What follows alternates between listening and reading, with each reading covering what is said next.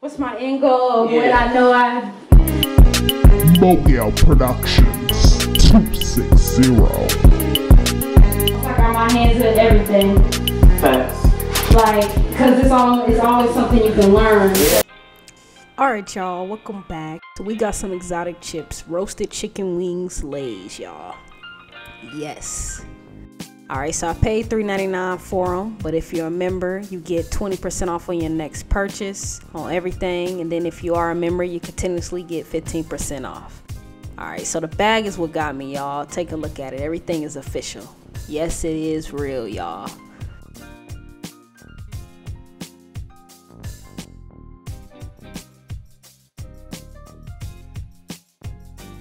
Took me a minute, but y'all. I ain't gonna lie to y'all. It took me a minute to open this damn bag, okay?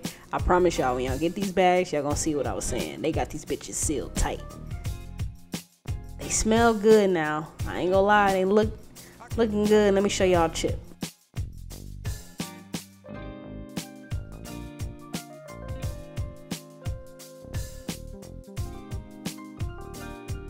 All right, let's see. Hold up. What is hidden like?